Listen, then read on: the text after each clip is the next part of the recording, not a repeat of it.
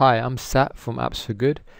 Welcome to a, a second tutorial on using PhoneGap. So this is going to be quite a short one. This is actually just um, uh, talking a little bit more about that template folder. Um, so I created a template folder in the last tutorial and links to that below. Um, and there's also a link to the template folder on our website. So you can download that template folder and import that folder into your Eclipse uh, project. So you don't have to go through all those steps. I still recommend that you do go through those steps because a newer version of Cordova could have come out and then you want to be as up to date as possible. But if you just want to jump straight into development, um, I understand that and I'll talk you through how you can do that. So you want to go File and you want to go and Import and you want to click on Android, existing Android code into Workspace. Click Browse and then locate where you saved that file. Um, so that file obviously is already on my computer since I just built, I just wrote it. Uh, but if I go to it, it's there and I click OK you'll notice a little tick box comes tick box comes up and it has the name of the um, you know, the package name that I gave it from before um, so I can click finish and it will copy the uh, project into um, Eclipse. I'm not going to do that because I've already got it there. Um, so I'm going to cancel that. But if you were to do that it would appear here and it might appear a little bit more like this. We'll have like a little URL um, or like that. Uh, don't worry you can just rename it and and go from there. So if I wanted to create a new project I could just copy it right click this copy and paste it again here and then rename it and work off of that. And that way I've always got a new um, I've always got a template folder that I can work off of um, and I don't have to um, keep taking making those steps. Um, so if I go to uh, this new folder that I've just made based off of the template one, I just copied and pasted it, and I go inside of assets, you'll notice it's slightly different to the one that I showed you before. Um, the index folder, well actually the www folder has the CSS fo folder in it, which has one file, a JavaScript file folder which has one file, um, uh, index.html and about.html. Um, so hopefully this makes sense to you since you may have you've probably gone through a few of those tutorials um, um, and some, through some of the powerpoints um, that are also um, on our website. So the links again will be in the description. Um, if you have done that, then this will look quite familiar.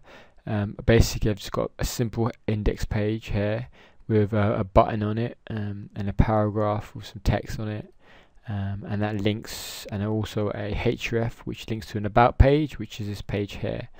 And both of those the index page and the HTML page and the about page both have links to a CSS style sheet which is in the folder CSS and is index for CSS so I could check this by doing right click um, run as and then doing the Android application which is what we did before.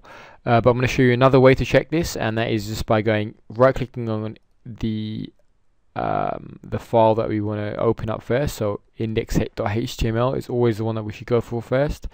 And I'm going to click on open with and this time I'm going to click on web browser and when I click this you'll notice it actually has opened up a web browser for me over here so although I recommend that you always test your apps using a phone, some sometimes you're just doing some HTML, CSS, and JavaScript, and you just want to test it quickly, and you can do it locally using your browser. There's nothing wrong with that. And in fact, this works perfectly fine. I can click on here, and it takes me to the about page. Click back, and it sends me back. Uh, you'll notice this paragraph is red, and that's because of the CSS. And there's a small uh, JavaScript um, some a function in here. So if I type something in here, uh, type my type my name and click change text, it will add my name to this text. Well, actually changes this entire text and adds it onto there. Um, and I can show you that in the JS file here. So in the index.html um, folder and uh, file, sorry, what it has is a the little button, and that button has an on-click call and that calls a function called change text which is inside the JavaScript function which all got pulled in here. So I've kept all my JavaScript uh, functions separate in a separate folder in a separate file um, so it's easier to find so if this is a JavaScript call uh, it's calling a function I know it's calling a function because it has these brackets so now if I go to my JS um, file in well, index.js file in our JS folder, which is I've just opened up here, you'll be able to see that function. And that's actually looking up uh, the document, the HTML document, um, finding the element that has the ID user input. So if I go back to index.html, you'll see the paragraph has an ID called name change, and that's the. Oops, sorry, I beg your pardon um, this is actually taking the get element ID user input value which is if I go here if I look again I'll see user input is here under the type um, under the um, the input box um, where the user enters their enters their name so it stores that in the variable called user input so whatever the user puts in is stored in a variable. Then what it does is it looks for um, an ID, an element with the ID name change, which was the paragraph that I first picked.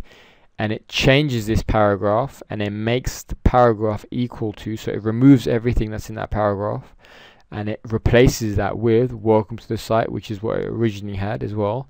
And this time it adds the person's name, which is stored in the variable user input, which was taken from the um, element, the text box element that they entered their name into.